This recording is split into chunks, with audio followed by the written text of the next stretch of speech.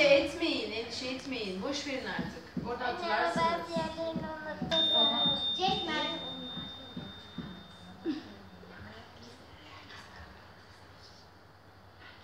Jack merdivenlerden yukarı çıkar ve her zaman aç,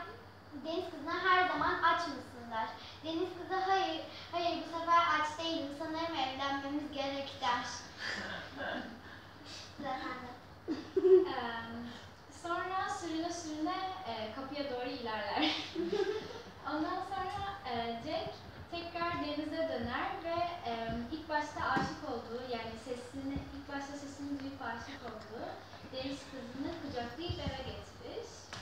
E, ilk iki gün e, ilk günler o kadar çok e, kız ona o kadar iyi davranır ki hayatındaki dört kadını bulduğundan emin olmuş gibidir ama sonra daha sonra e, daha sonra olaylar farklı yönde ilerler.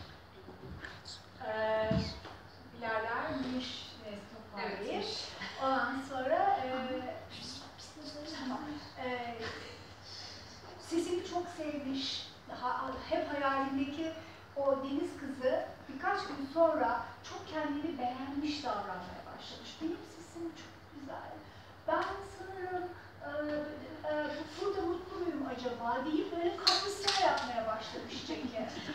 Ondan sonra fakat Jack birdenbire o kadar zaman, o kadar özlediği o kızın olmadığını düşünmüş. Ve demiş ki sanırım, sanırım ben sana aşık.